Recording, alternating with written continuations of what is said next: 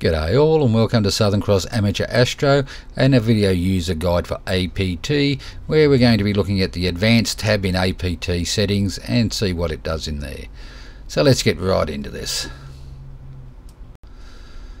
And finally we come to the last tab in your APT settings which is the advanced tabs and basically this is settings you don't have a home anywhere else. It's just somewhere to put them all. Uh, we may need an advanced tab too the way things are going on this one. Um, plan start delay. This is simply if you want to delay the start of a plan after you've hit the shoot button or the start button. Uh, this will delay it however many seconds you've got here. I've never used it so I'm not going to worry about it too much. Uh, your live view stack count, uh, if you're using stacking for your live view, this is the number of images it will use for it to stack. Um, then you simply have your PC free space, so it checks your hard drive to make how much make sure how much space you've got left. Um, you can set this to whatever you like. The default is 4,000 uh, megabytes or 4, 4 gigabytes. Um, generally, most people won't run into that problem nowadays of the way storage is, but you may run out. Who knows? Uh, camera low space limit. This deals with your uh, SD card or your micro SD card in your camera uh, and let you know when you're running low on space on that. And same with the battery limit. Um, if you're running off a battery rather than a dummy battery or AC or whatever um, you can set your limit to what the battery reaches just before you start giving a, a warning. Yeah, probably 20% or something like that you'd want in there.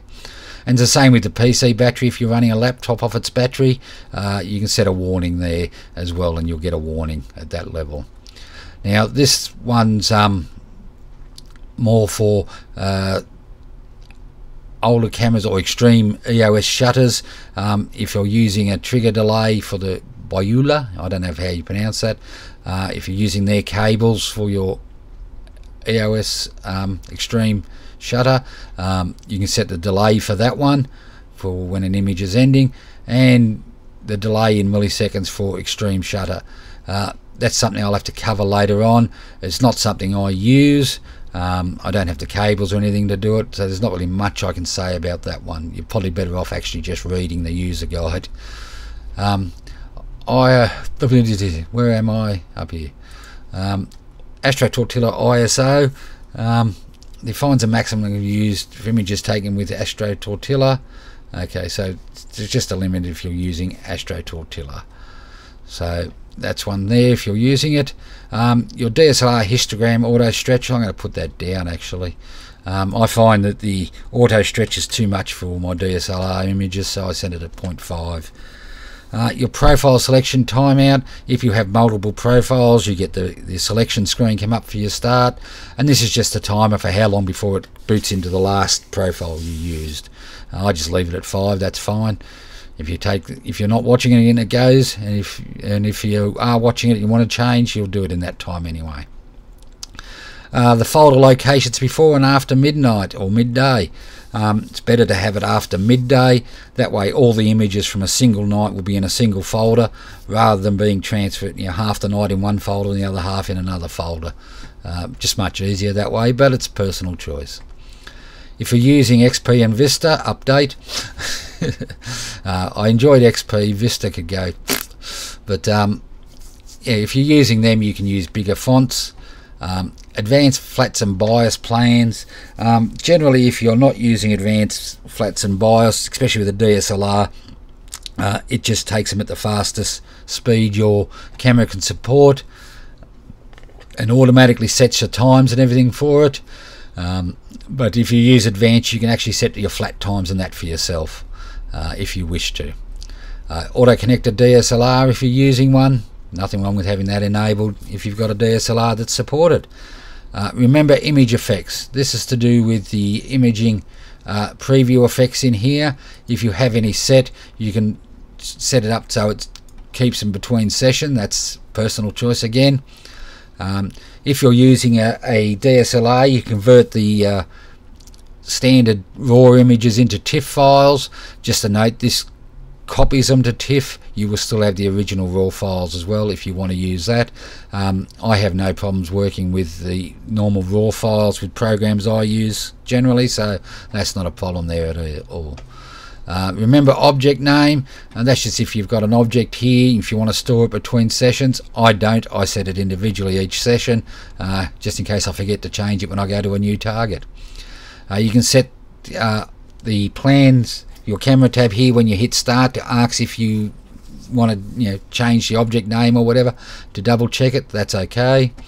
Um, if you don't want to sync the DSLR camera camera clock with the PC clock you can do that. I see no reason not to.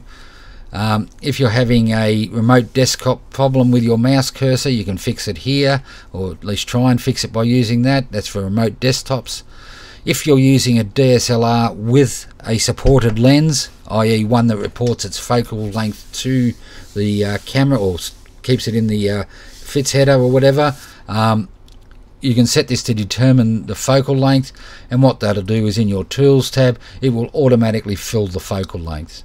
Uh, makes it easy for your plate solving and that. Uh, if you want to use autofocus you will still need to put in the uh, scope diameter.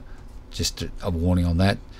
Um, disable the Nikon clock check, dial check, uh, Nikon dial check, clock check. Uh, my brain's going numb. If you have a Nikon, it uh, I think it's to do with being in manual and bulb and everything. I don't have one, so I've never had to worry about that.